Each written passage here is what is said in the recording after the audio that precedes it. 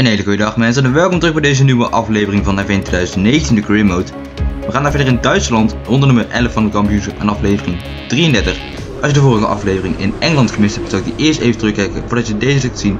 En ben je nieuw op dit kanaal en wil je meer afleveringen zien van F1 2019 de Career Mode, druk de knop op en neer en schakel ook gelijk het belletje op alles aan zodat je geen enkele video meer van mij mist.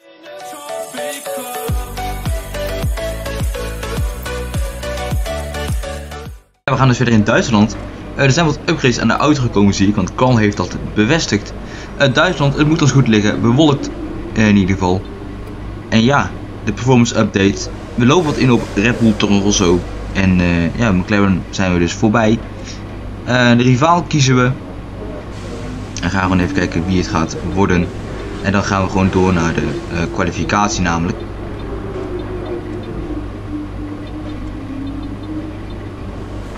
En zal ik dan toch voor Giovinazzi gaan? Ja, we gaan voor Giovinazzi. Dus de rival hebben we gekozen. En dan gaan we dus door naar de kwalificatie voor de grote prijs van Duitsland. Germany for today's qualifying session at the famous Hockenheim ring.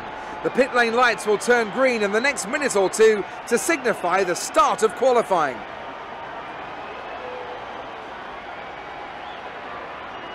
This is a track that tends to ask quite a lot of the tyres, both front and rear. So is it fair to say a great deal of management will be needed in order to do well here? Tyre wear is always something you have to consider to a certain degree. Finding a good car balance that suits the circuit will help prolong the life of the tyre, but it's true that some circuits, such as this one, are more challenging than others. How hard you can push them depends on your strategy and how tight the battle is around you. Nou, we zijn inmiddels aanbeland bij onze eigen auto voor de kwalificatie. Um, ik verwacht gewoon dat we doorgaan naar Q2. Maar ik denk dat Q3 lastig wordt, want uh, we hebben het meestal moeilijk tijdens de kwalificatie. De regen uh, verloopt bewolkt, dus geen regen. Interessant. Right, I'll get these changes made. De zetten passen dus aan en we gaan er dus al gelijk uit. We zijn al ook gelijk over de finish heen gekomen. Een beetje blokkerende wielen, maar het is niet zo erg. Het mag allemaal als we maar doorkomen naar Q2. DRS wat laat geopend. Ik zag het niet zo goed namelijk. We komen over start-finish heen. En we zetten een 1.13.5 neer op een tiende van Kwiat. Want de Toro Rosso's zijn ons voorbij gegaan in uh, de R&D uh, boom. Inmiddels doorverwezen naar P6, terwijl Nico Hulkenberg naar 4 is en Weber geeft de toon aan. Oké. Inmiddels weer over uh, finish heen gekomen voor onze laatste run in Q1. En dat begon eigenlijk niet zo goed, want uh, die zag daar mij een klein beetje blokkeren.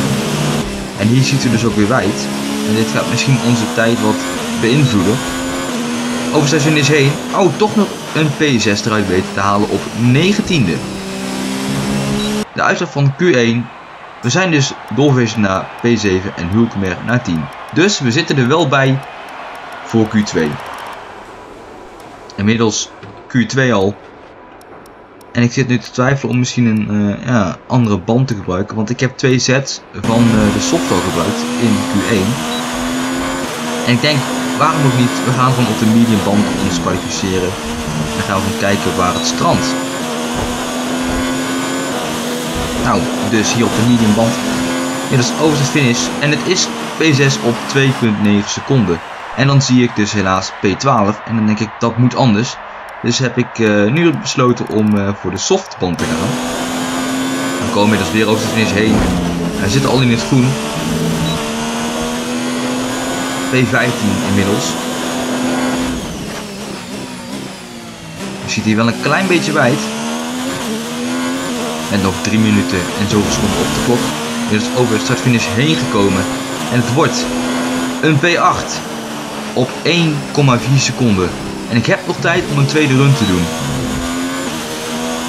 Dus dat gaan we ook doen ook dan. Een tweede run hier. dan uh, gaan, gaan dus kijken uh, wat het gaat opbrengen. Hier inmiddels over start-finish heen gekomen. En onze laatste run in Q2 gaat nu beginnen. We hebben volgens mij Nico Hulkenberg achter ons. We zitten wel in het rood. Dus dat moet verbeterd worden. En ik verlies al gelijk wat op het belangrijkste stuk. Een paar duizendste. Wat niet goed is. Ik geef Hulkenberg trouwens hier een slipstream.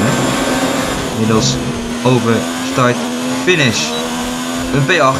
Blijft het ook een P8? Het blijft een P8. Maar we gaan naar de uitslag. En we zijn eruit geduwd door Gasly, Leclerc en Butler. Dus wij starten niet uit de top 10. Terwijl Kviat naar 1 is gegaan en Weber naar 2. De Williams zijn bloedsnel geworden. En wij starten dus vanaf B11. Maar voor het eerst gaan wij een 50% race doen. Dus er kan van alles gaan gebeuren. Dus de race wordt, race wordt extra lang. De rivaliteit hebben wij gewonnen met Nico Hulkenberg. Die winnen wij nu tot nu toe met Antonio Giovinazzi. Giovinazzi. De resource punten, points eigenlijk. Zijn er wel veel dankzij de rivaliteit die wij gewonnen hebben. De reputatie is gestegen. Interessant, oké. Okay. Gaan we naar een veteran en een sportsmanship toe. Obviously I expected a better session, but these things happen from time to time. Try to make up for it ja, in the race. ik snap het Emma. Uh, ja, ik kan er ook niks aan te doen. De auto was gewoon niet goed. Maar we gaan het zien in de race voor de grootprijs van Duitsland. There's nowhere at all I'd rather be today than here at Hockenheim for the German Grand Prix. We have an incredibly competitive field this year, which means we should be in for a treat. And judging by the sea of people filling the grandstands, there's a fair-sized chunk of Germany that agrees with me. With average lap speeds of around 130 miles per hour, the Hockenheim Ring is a quick circuit with a lap distance of 2.8 miles, around 17 corners. The main DRS zone through Parabolica leads into the hairpin for the best overtaking opportunity on the track. Joining me for today's race once again is Anthony Davidson. Let's begin by talking about Antonio Giovinazzi. They're still relatively new to a sport which does have a high learning curve and, of course, little tolerance for mistakes. And this is something that has ended the career of many a young driver, as that leap up to Formula One proves to be too much. But luckily in this case, I'd say they're doing a good solid job, and the risk the team took in signing them is definitely starting to pay off.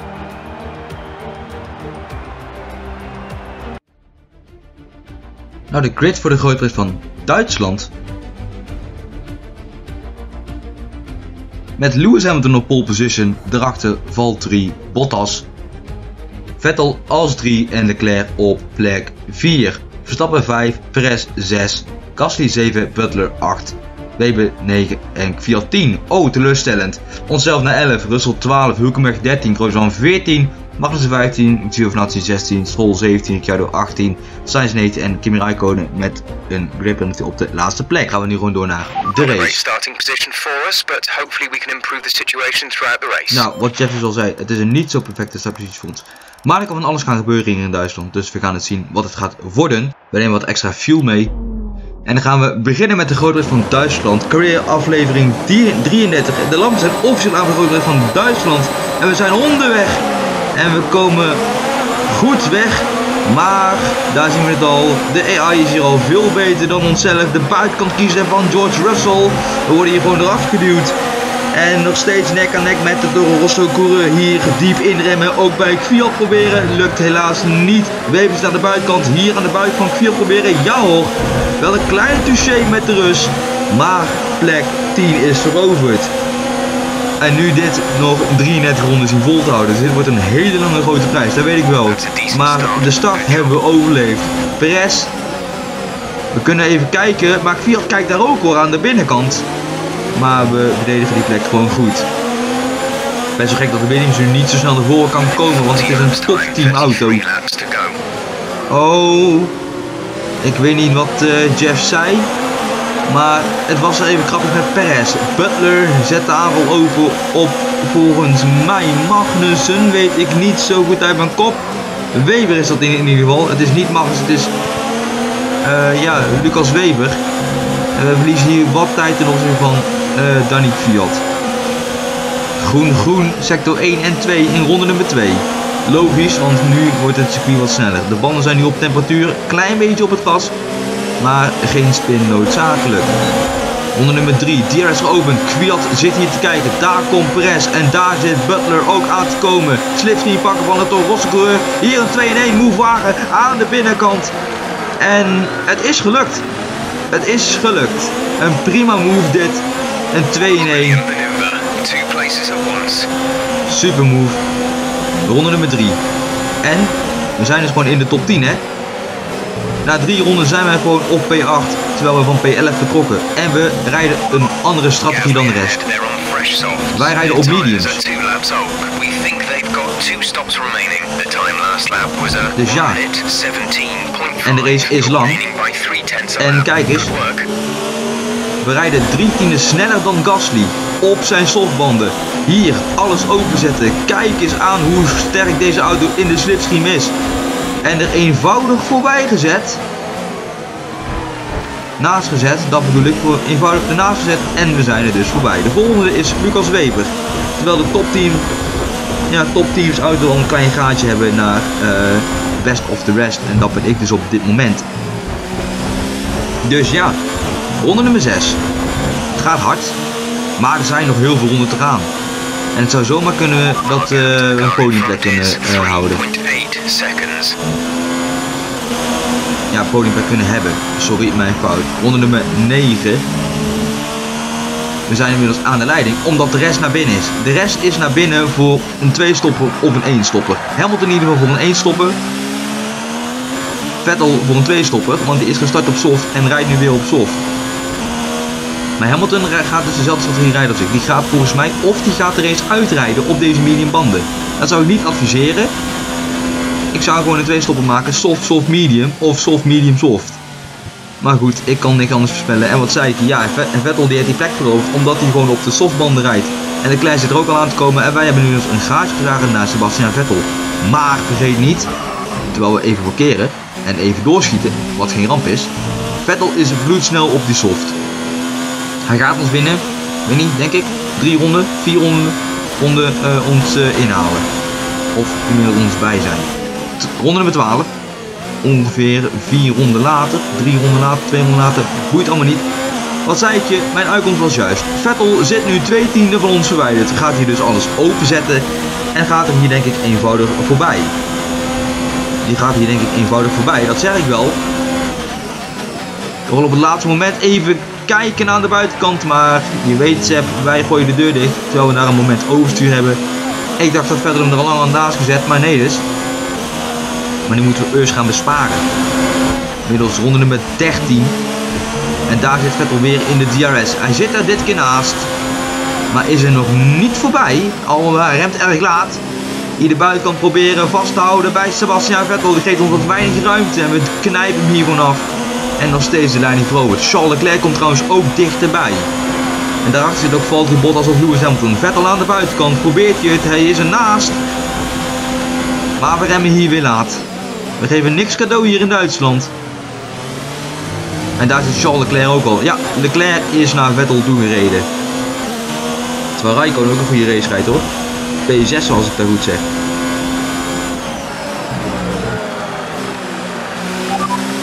Ronde nummer 13. Right, tyre situation. We're good for the time being, but you are going to start to notice Nou, de banden zijn inmiddels goed terwijl Vettel daar weer een aanval waagt. Wel op het gas rijden. En Vettel is er voorbij. Maar we kunnen hier gewoon terug eh, rijden in de slipstream. Huppata, weer laat inremmen. Alhoewel, Seb laat hem eh, niet zo gauw eh, voorbij laten schieten hoor. Seb laat de overwinning niet uit zijn slot schieten. Terwijl Leclerc gewoon naar P2 is. Die rijdt op een andere strategie dan Sebastian Vettel. Gaat Leclerc er voor een 1 stopper of voor een 2 stopper? Weet ik niet. Boeit me ook niks. We moeten gewoon focussen op onze eigen race. Maar tot nu toe eh, is het goed. Nog 20 ronden te gaan. Dus de wedstrijd is bloed en bloed lang. Leclerc kan hier niet aanvallen. Probeert hij dan op het lange rechte stuk. Nou, Leclerc zit er heel erg dicht op hoor. Zo de knetters. Maar we kunnen hem gewoon weer laten inremmen. En dat weet Charles denk ik ook. Ja, want die laat ons leven. Dankjewel Charles Leclerc dat je zo aardig bent voor ons. En nu kan Vettel weer terugrijden. Of terugkruisen, hoe je dat ook wil zeggen. En dit gaat dus zo onderlang en onderlang door. Terwijl wij gewoon, terwijl wij gewoon de lu- leiding hebben behouden of gaan houden. Een klein beetje door, maar dat is geen probleem. Ronde nummer 15. Het is inmiddels ronde nummer 16. En we gaan voor onze laatste stop volgens mij. Of voor onze ene laatste brief. Maar ik heb nog geen flik wat het is. Volgens mij onze laatste stop naar binnen. We hebben eh, gekozen voor de harde banden.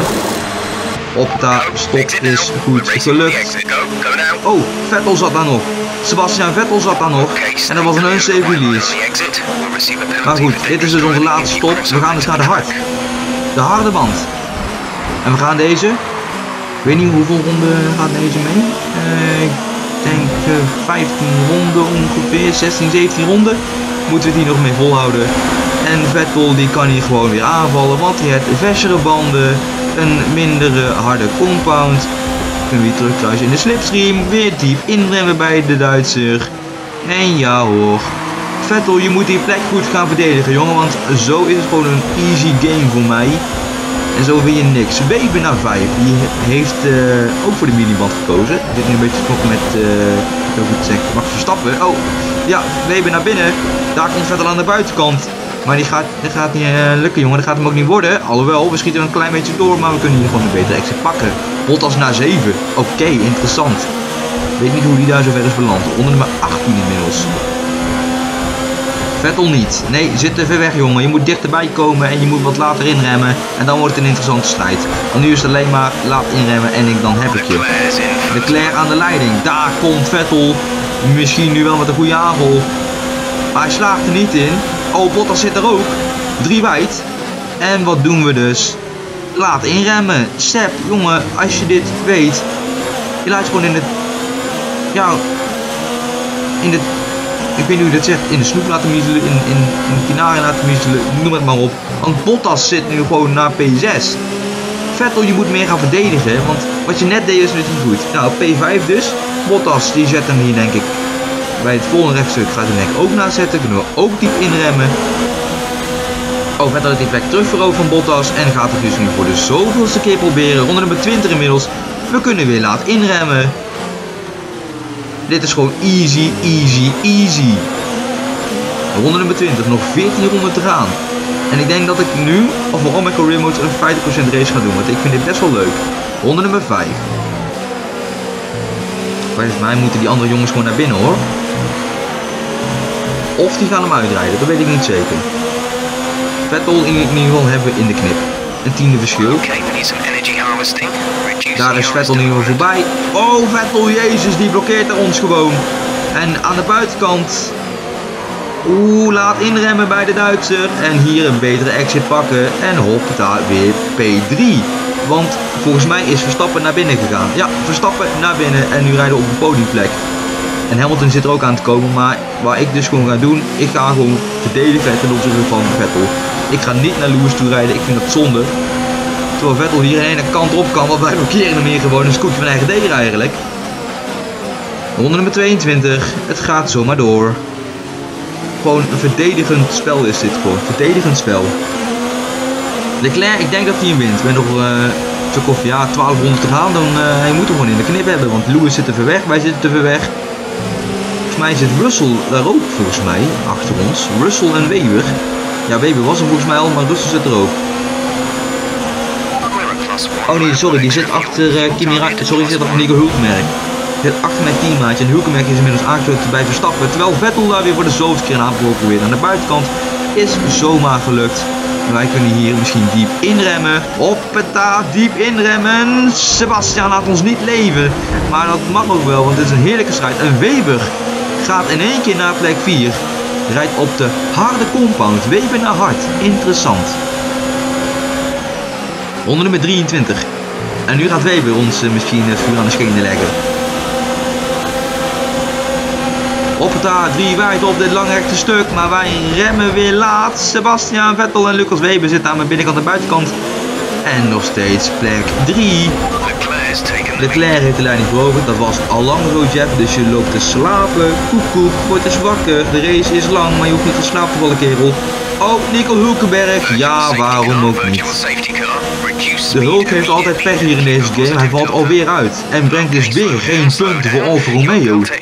Nico, moet ik nou alles gaan doen voor jou? Moet ik de hele car gaan trekken dit seizoen? Middels Virtual Safety Car. Um, ja, ik weet dus niet of dit slim is jongens. Oftewel, ik ga nu tegen mijn team Alfa Romeo. Hulkenberg die valt steeds uit. Die pakt dus weer geen punten voor Alfa Romeo. Waardoor ik weer de car moet gaan trekken. Waardoor wij dus misschien het WK op de constructeurstitel mislopen. De betrouwbaarheid bij Nico's auto moet omhoog.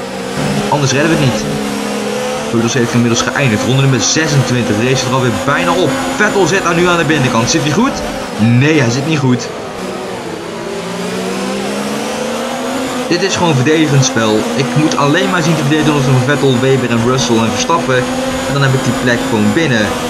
Vettel nu aan de buitenkant proberen. Eh, snelheid misgelopen. We hebben meer snelheid. Hier laat inremmen bij Vettel. Hem niet laten leven. Zomaar afgeduwd. Alsjeblieft. En daar zit Weber. Maar die zet hem daar wel even door. Weber zet hem daar even door. En Weber moest gewoon op de rem. Maar dat was uh, brutaal wat Lucas Weber deed. Bottas zit daar trouwens ook aan te komen bij Vettel. Onder nummer 27. Weber niet.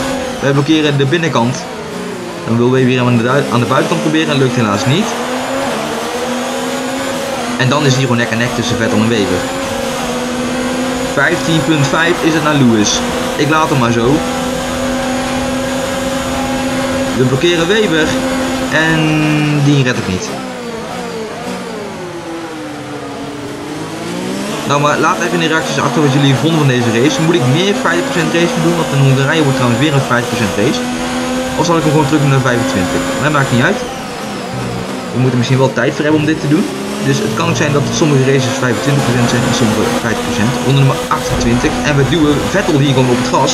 Dat mag allemaal, ik krijg er geen waarschuwing voor. Dan remt hij hem hier wat later in. En dan kunnen wij hier weer een betere exit pakken. Ja, kijk hier, weer nek aan nek en wij winnen het gewoon weer. We laten hem dus weer niet leven, we knijpen hem af. En zo dus weer P3. Onder nummer 28. Dus ja, zo gaat het maar ronde en ronde lang door. Dus dit is uh, ja, best wel vermakend. Een vermakende grote prijs. Inmiddels ronde nummer 29 en Vettel pakt daar dus weer de buitenkant. Lukt niet jongen. Slim nadenken. Ja, vond je deze video leuk? Beloon het met een like. Ben je nieuw op dit kanaal en wil je meer afleveringen zien over 2019 van je druk dan op de abonneerknop voor wekelijkse video's. Schakel ook een lekker belletje op alles aan zodat je geen enkele video meer van mist. En regel wat beter anders moet worden. Vettel uh, maakt een aanval. Blokkeert daar ons gewoon, maar hier een betere exit pakken. Volg me, even, ook even op de social media. Dus links in de beschrijving, Instagram, Twitter en Facebook. Ja, en ja, we gaan gewoon zien wat dit gaat worden. We schieten wel een klein beetje wijd, wat geen probleem is, want Vettel laat hem daar niet staan. Onder nummer 30. Op het A, Vettel aan de binnenkant. Binnenkant. Ja, nu is het de buitenkant. En lijkt die plek te hebben gewonnen. Maar we hebben hier gewoon DRS. We kunnen alles oversloegen terwijl we stappen in één keer naar 5 is gegaan. Heeft Weber gepakt. En deze auto in slipstream is onoverwinnelijk. Kijk maar, aan de buitenkant, laat inremmen, Vettelrem laat in, is niet slim jongen, want we kunnen hier een betere exit pakken. We doen wat naar buiten. Vettel lijkt te hebben gewonnen, maar dat is dus valse hoop. Kijk maar, aan de buitenkant, hier weer naar de binnenkant zetten, laat inremmen, een beetje blokkeren, mag allemaal, we raken set, maar we krijgen geen penalty. En zo hebben we dus weer plek 3 veroverd. Zo gaat het dus op 90% AI. Of 80 of 85, ik weet het niet ja, boeien, ik vind het zo goed. Ik ga de AI niet verhogen, want dan wordt het echt niet meer leuk. Dus ja, met nog uh, drie ronden te gaan. De Leclerc is inmiddels ronde nummer 31 in gegaan. Wij gaan dus eigenlijk ook ronde 31 in.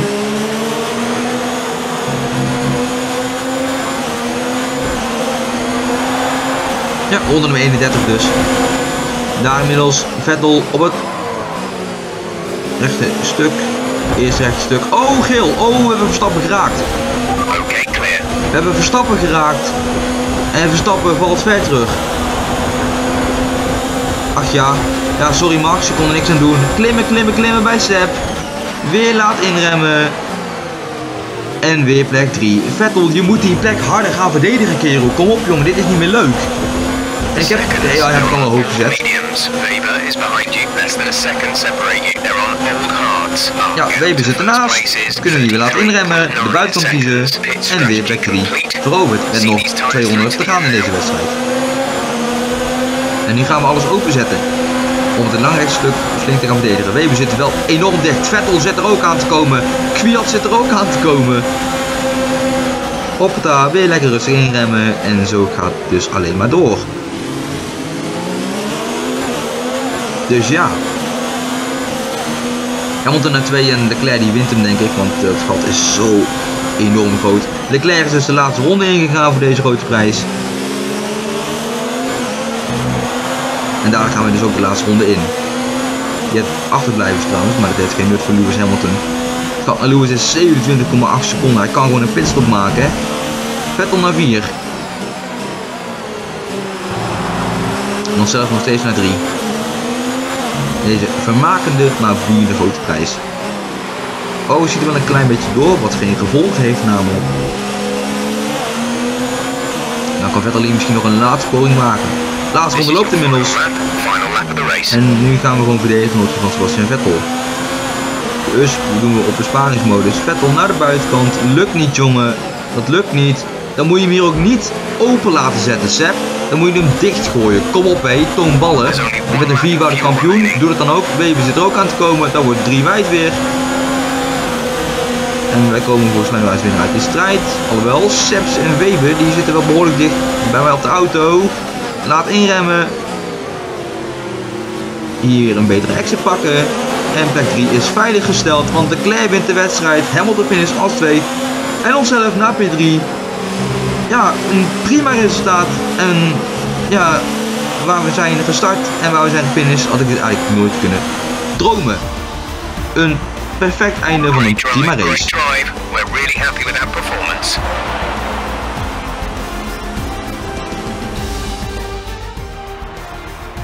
Ferrari have really pulled it out of the bag today. It's a great win. Tell me, Ant, how did they manage to achieve this win? Well, time management probably played quite a large role in the outcome of this one. As ever, it's not just about speed, it's all about maintaining that speed consistently over a stint, over a race distance. So being able to keep up the lap times while still being smooth on the controls and gentle on the tyres, that's really where the race was won today. Here come our winners now. A thrilling race and a tremendous effort by Ferrari. Their history is well known, so it's no surprise to fans the world over to see them come out on top once again.